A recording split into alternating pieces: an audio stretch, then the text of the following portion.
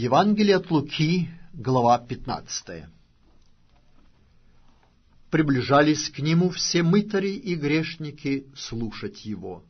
Фарисеи же и книжники роптали, говоря, «Он принимает грешников и ест с ними». Но он сказал им следующую притчу.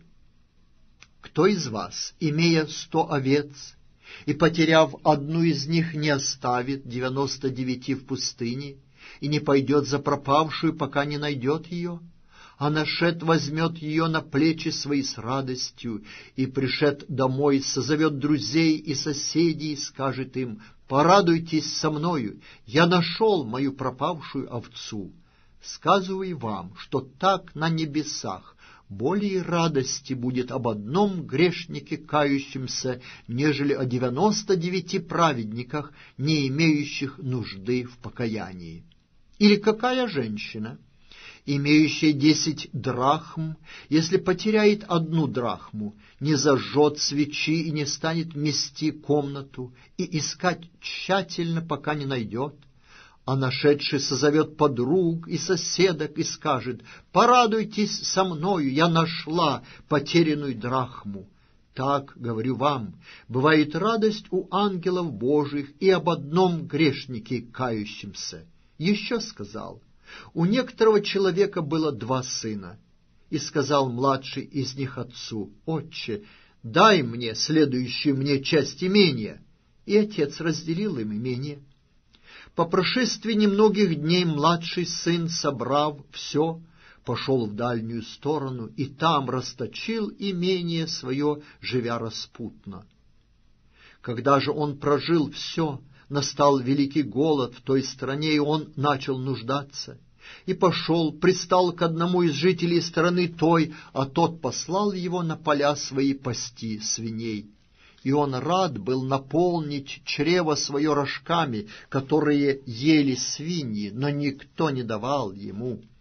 Пришед же в себя, сказал, «Сколько наемников у отца моего избыточествует хлебом, а я умираю от голода. Встану, пойду к отцу моему и скажу ему, «Отче, я согрешил против неба и пред тобою, и уже недостоин называться сыном твоим» прими меня в число наемников твоих. Встал и пошел к отцу своему. И когда он был еще далеко, увидел его отец его и сжалился, и, побежав, пал ему на шею и целовал его.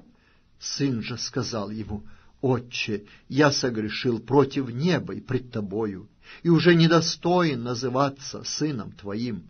А отец сказал рабам своим, принесите лучшую одежду и оденьте его, и дайте перстень на руку его и обувь на ноги, и приведите откормленного теленка и заколите, станем есть и веселиться, ибо этот сын мой был мертв и ожил, пропадал и нашелся, и начали веселиться.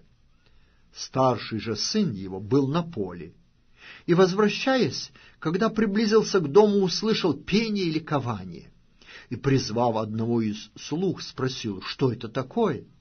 Он сказал ему, брат твой пришел, и отец твой заколол откормленного теленка, потому что принял его здоровым. А он осердился и не хотел войти. Отец же его вышед, звал его, но он сказал в ответ отцу, «Вот я столько лет служу тебе и никогда не приступал приказания твоего. Но ты никогда не дал мне и козленка, чтобы мне повеселиться с друзьями моими. А когда этот сын твой, расточивший имение свое с блудницами, пришел, ты заколол для него откормленного теленка. Он же сказал ему, сын мой, ты всегда со мною, и все мое твое, а о том надобно было радоваться и веселиться, что брат твой сей был мертв и ожил, пропадал и нашелся.